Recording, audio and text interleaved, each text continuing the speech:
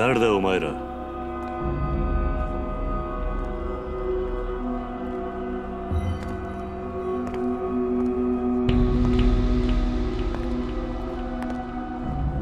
どうして俺をつける？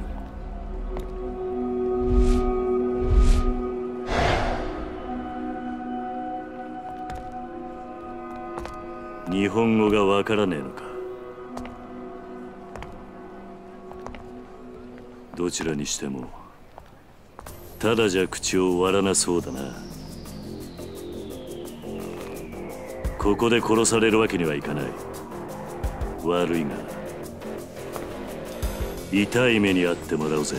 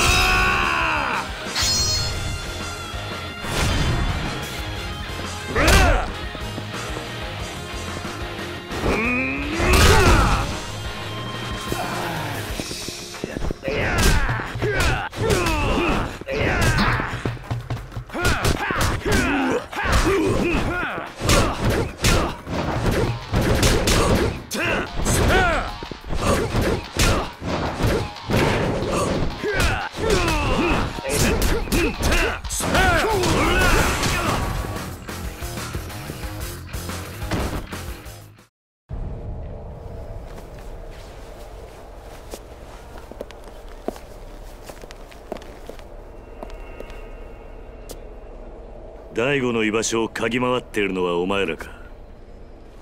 お前ら一体誰に雇われた？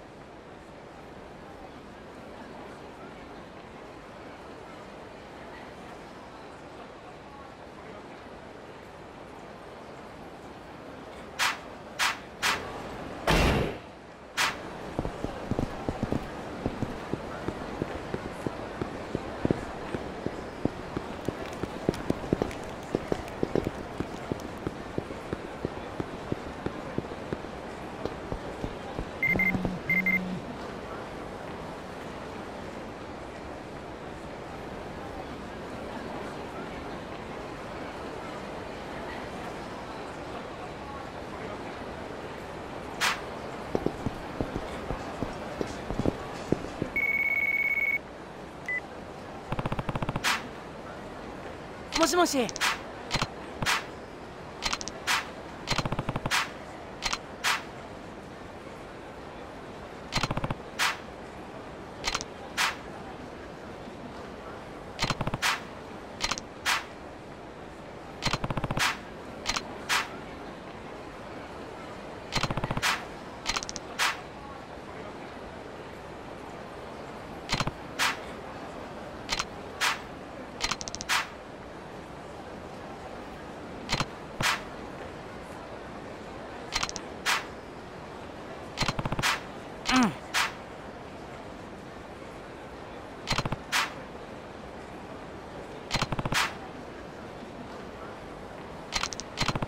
う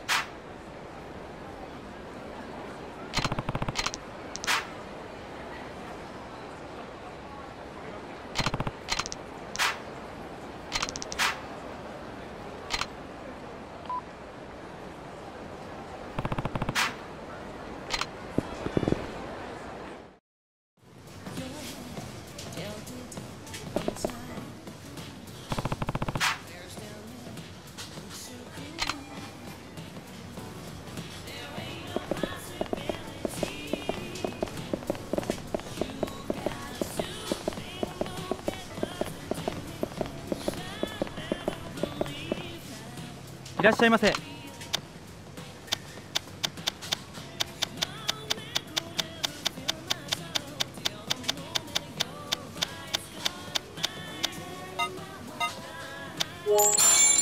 ありがとうございます Ah.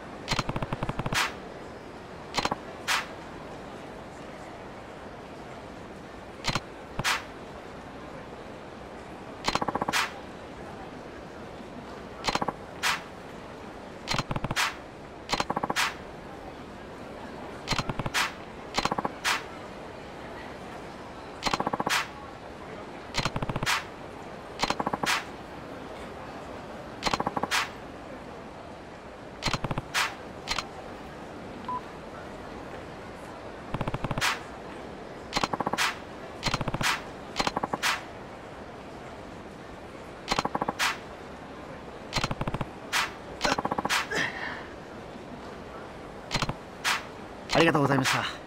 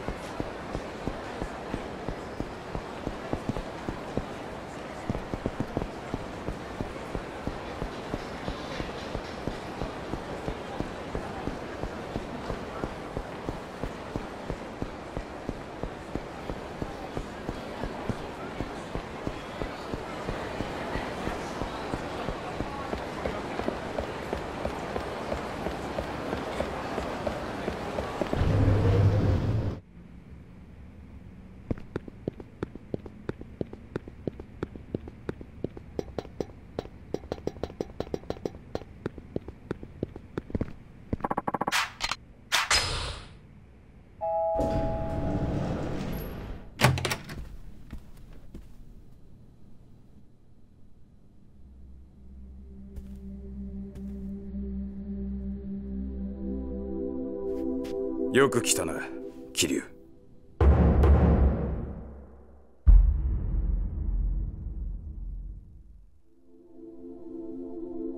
柏木さん。あまり時間がない。お前とはいろいろと話しておかなければならないことがある。はい。今日の幹部会のことだ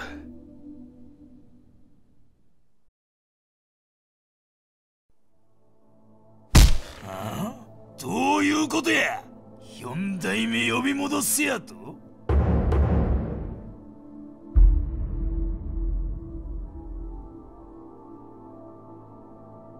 そうだ。今六代目が現場を離れたら登場界の基盤が揺るぎかねん。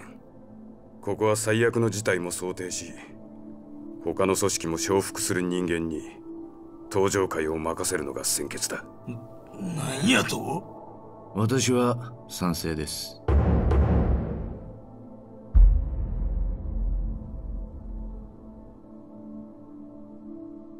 峰おのれ神田の兄貴ここは桐生4代目に出張ってもらうのが最善の策です。何やと頭俺は6代目と直接杯を交わした間柄です。本来なら何があっても大悟さんに戻ってきてもらいたいですが近江連合やその他の組織のこともあります。ここは早急に他の組織が納得できる代行を立て大悟さんの帰りを待つしかないと思います。うん今さら何言うとんじゃ。国道が頭取られて落ち着いとる場合か。株ばっかりやって頭おかしなとんちゃうか。おお峰。俺も神田と同じ意見です極道だったらまずやることは後目のことよりも返しが先でしょう。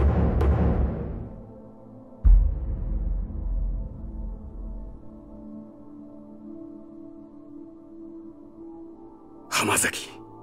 頭俺が仕入れた情報じゃ会長跳ねたのは風間のおじきによく似た男。と聞きましたが。浜崎お前それほんまか？どういうこっちゃ?六代目の側近の話だと。大悟が会長室で撃たれた時部屋にいたのは風間の親父によく似た男だったらしいが。まあ一度死んだはずのおじきが生き返るわけもありません。別の人間だとは思いますが。頭なんかご存知なんじゃないですか？いや俺も全く見当がつかない。どちらにしても今登場会がすべきことは会長を撃った男を捕まえて誰が戦争を仕掛けたのかを探ることでしょう。四代目桐生さんを戻すのはそれからでも良いのでは。いやそれは違う。あ今は早急に登場界の足場を固めることが先決です直径99団体桐生さんを代行に立てて一枚岩になっていかないと組織は崩壊してしまう。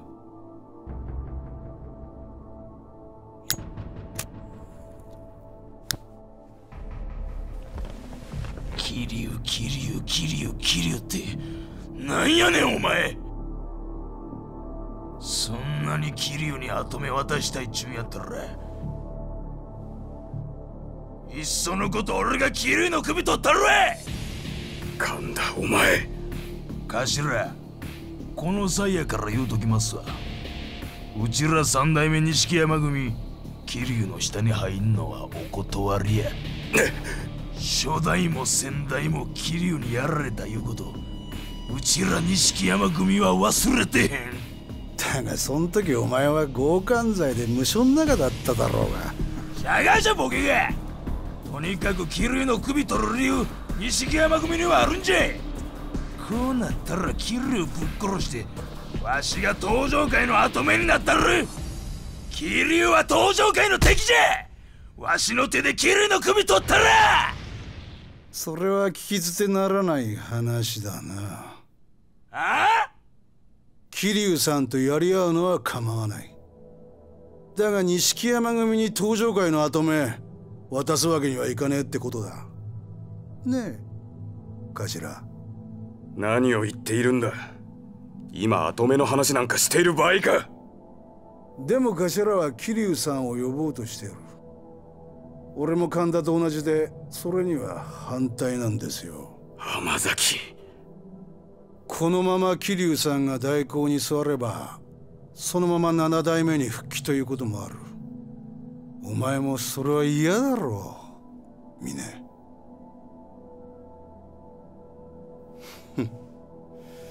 もう一人の幹部の意見も聞きたいね。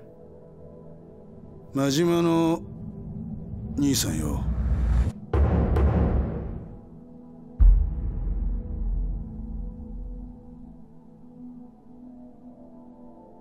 あんたも本部の若頭補佐だ。何か喋ってくださいよ。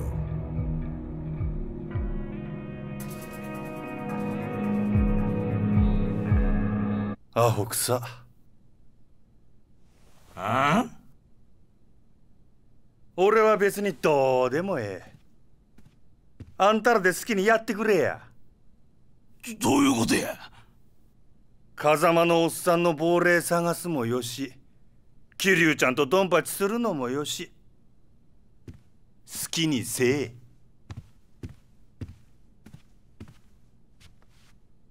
そうや。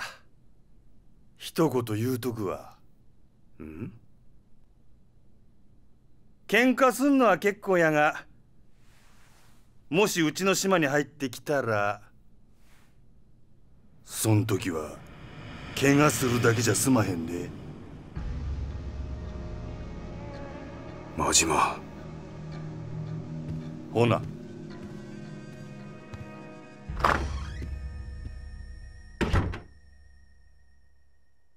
桐生ちゃんえらいことになったで。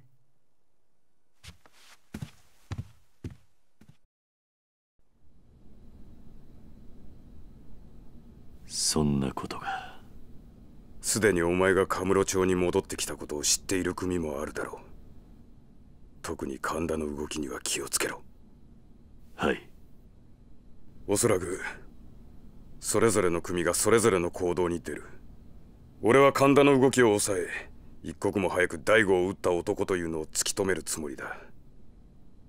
その件ですが実は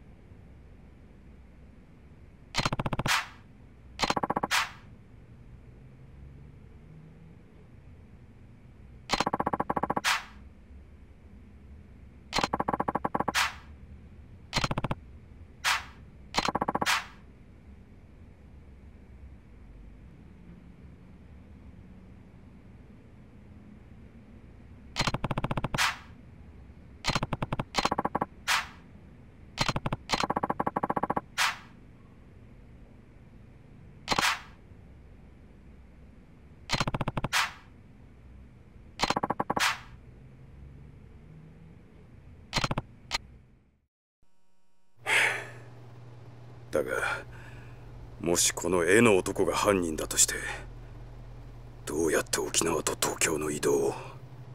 中原が撃たれたのは昨日の4時過ぎ。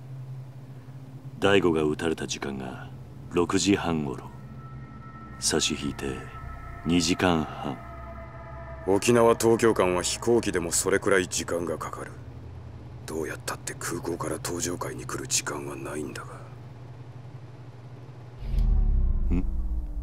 これは停電か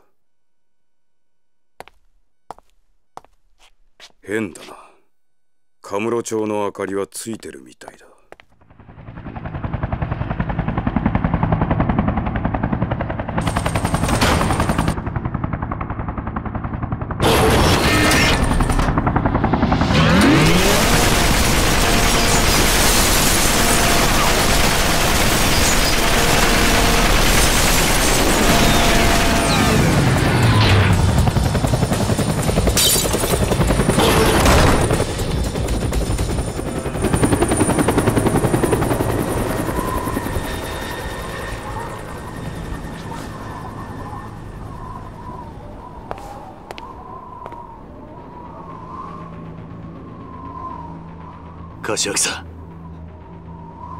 処理さ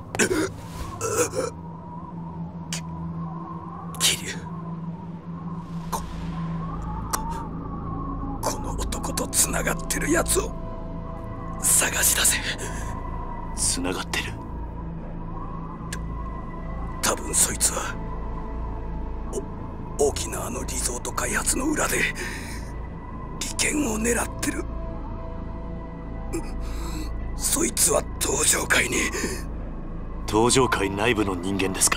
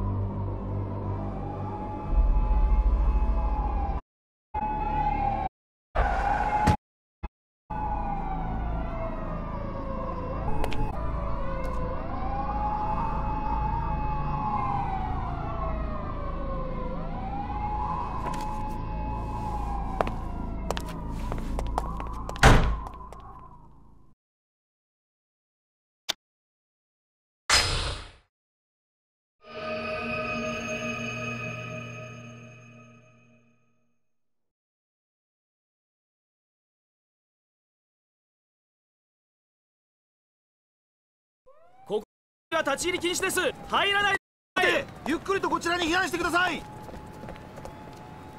ん？おいちょっとあんた。待て待て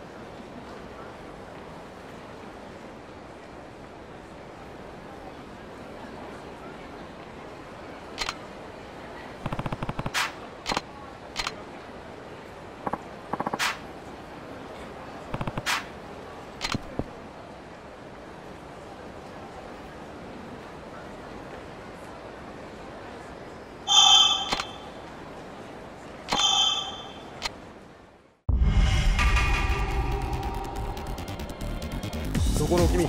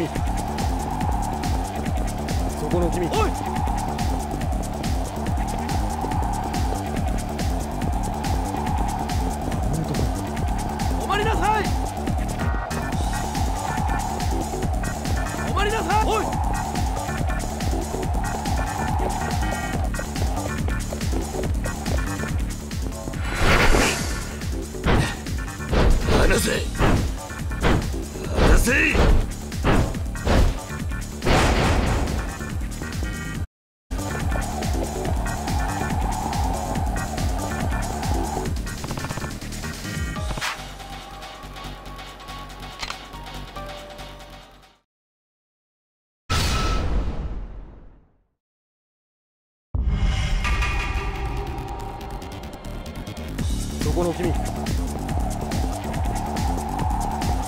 止まりなさい。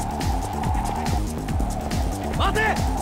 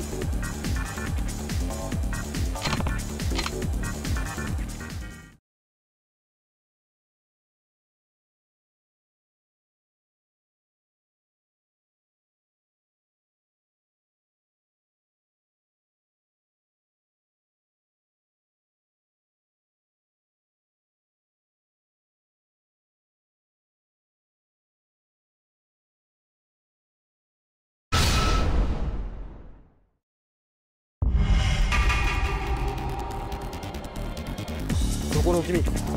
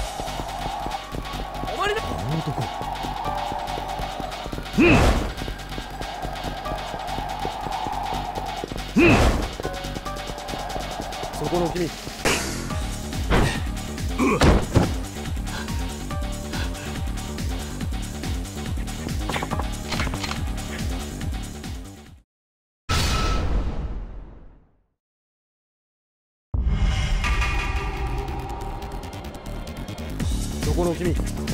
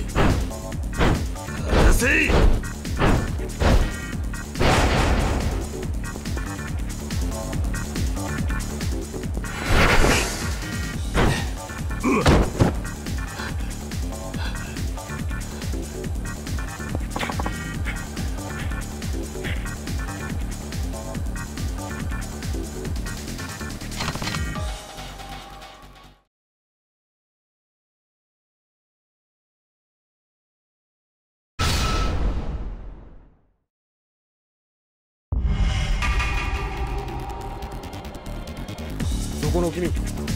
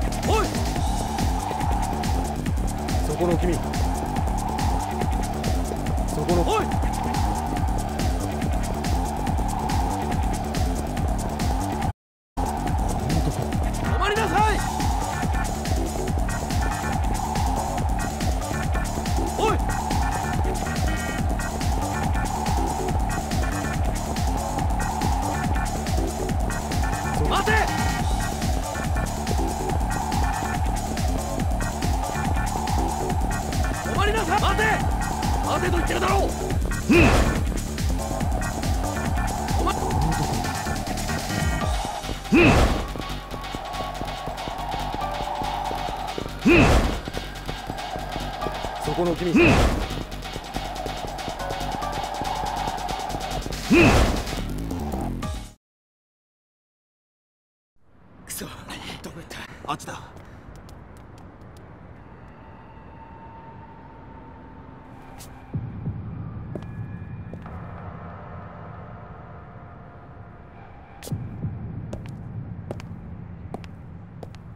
おい誰だ？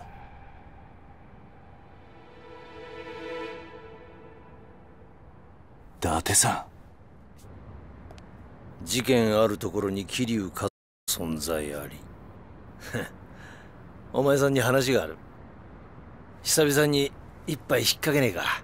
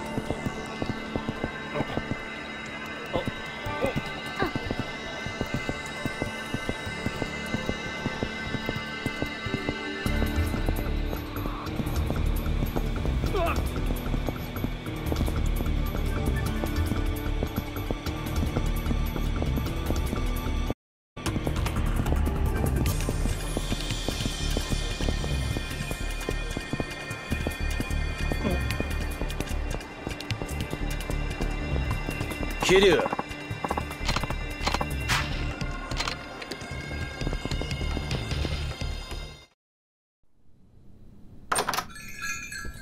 いらっしゃい。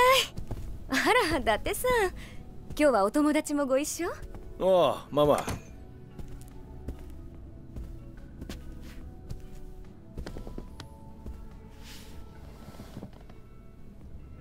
伊達さんここは？ああ昔お前がよく使っていたセレナだ。今新しいママに買い取られて様変わりしたけどな。伊達さんいつものやつでいい？うん。あ後で若造も来る。奴の分も頼むわ。はい。ずいぶん若いママだな。ああ。でも度胸と器量はそんじゃそこらのババアよりもすげえ。誰がババアですって？はい聞かれてたか。まあちょっとこいつに話があるんだ。外しておいてもらえっか。はいはい。ごゆっくり。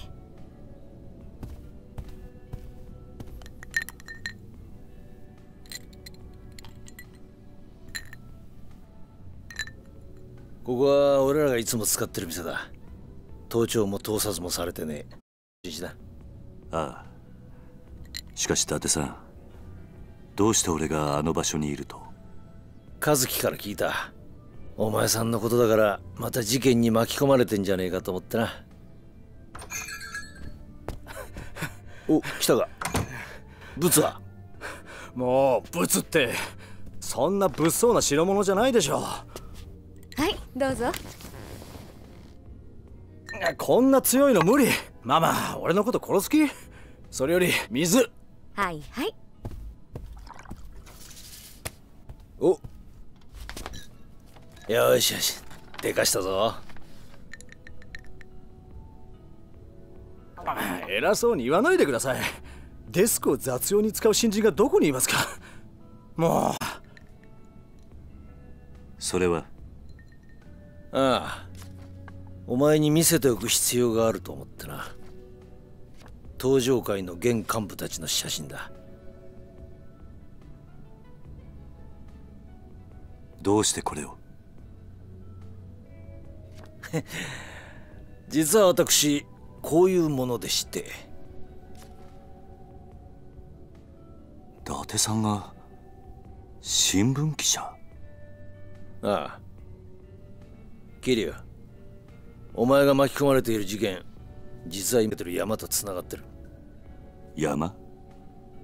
東上会そして政治家鈴木義信に絡む沖縄リゾート開発こっから先は危険な旅だ。お前さんには敵をよーく知っといてもらう。少し時間をもらうぜ。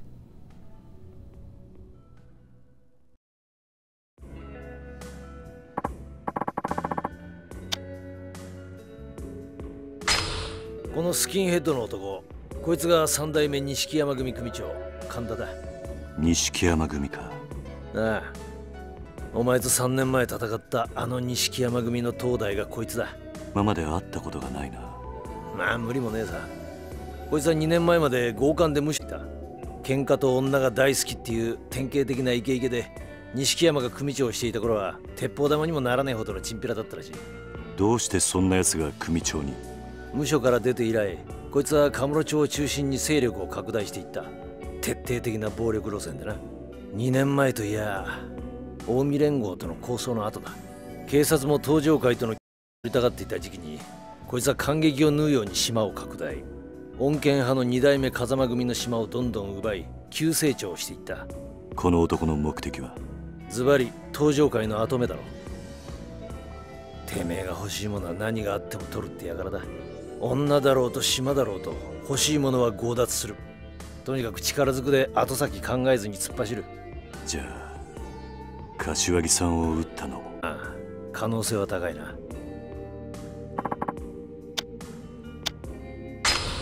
こいつは直系白鵬会会長峰義孝ってやつだ。峰義孝か。港区を中心としたオフィス街にいるやつでな。とにかく若くて金を持ってる。高級会社を乗り回し一見すると青年実業家って風貌だな。指定線やインサイダーを使っての株取引と不動産売買で巨万の富を得た。まあ言ってみりゃインテリ極道の代表格的な男だ。なるほど。今東上界の金はこいつで回っていると言っても過言じゃない。年間かなりの金がこいつから東上界に流れてる特に三代目の神田あたりはかなり峰から回してもらってるって話だ。どうしてこの男が神田に？この峰という男数年前までは新興ベンチャーの立ち上げなんかをやってた普通の会社員だった。それをこっちの世界に誘ったのが無償上がりの神田だったらしい。峰は神田の仲介を得て堂島大吾との杯を交わし東上界へ来たみたいだそれじゃあ神田とつながっている可能性もあるのか？いや峰は六代目の信奉者だ。最近じゃ自分の組の力もあって神田の後ろ盾も必要ない。神田のことを煙たがってるだろう。この AV 男優みたいな男通称浜の帝王直系浜崎組組長の浜崎剛という男横浜か。ああ3年前の抗争事件の後あの中国系マフィアのジャカに代わって横浜を制圧したのがこの浜崎だ。この男結構裏が見えないやつでな。どういうわけか島を奪ったはずの中国系の連中ともうまくやってるらしい。あのジャカと。ああだがこいつが不思議なのはそれだけじゃねえ。実はこいつの構成員が10人程度しかいねえ。なんだと？普通あのジャカ相手に横浜の島を奪い合うなら最低500いや1000以上の兵隊を持っていないと渡り合えない。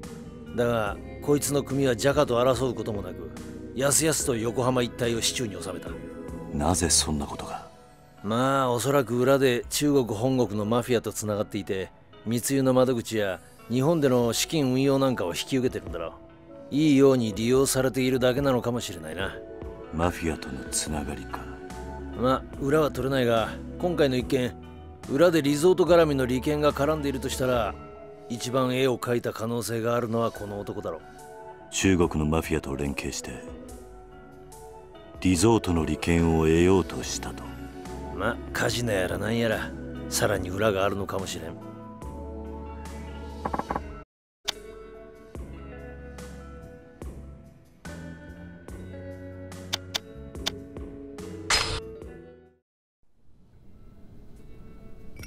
柏木さんは死の間際俺に言った。リゾート開発の裏で利権を狙っている奴が登場界にいると。俺もそう踏んでる。今の登場界でこれほどの絵が描けるのはこの4人くらいだ。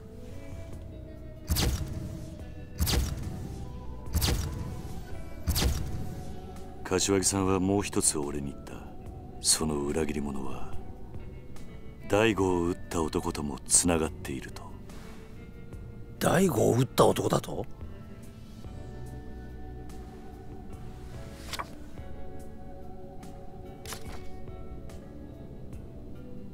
大悟それとリゾートの買収候補地の土地を持っていた中原という男を撃った犯人だ。これ一体どういうことだ？これ死んじまったお前の親代わりだった風間じゃねえか。俺にもまだわからない。大悟と中原を撃ったという。この風間の親にいた。俺を襲った黒いスーツの白人たち。それにさっきのヘリの襲撃。敵は一体どこにいるんだ？まあ今はとにかく登場界の裏切り者を探すしか道はねえようだな。ああ俺はこの絵の男が誰なのかを追ってみる。お前は柏木を殺す可能性が一番高い神田を追え分かった。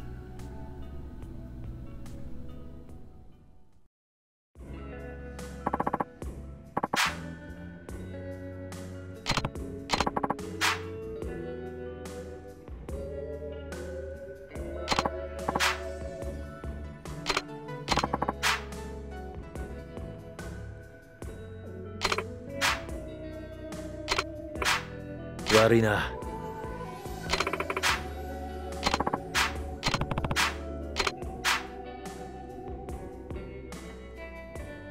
お 何？お。なんだと？桐生。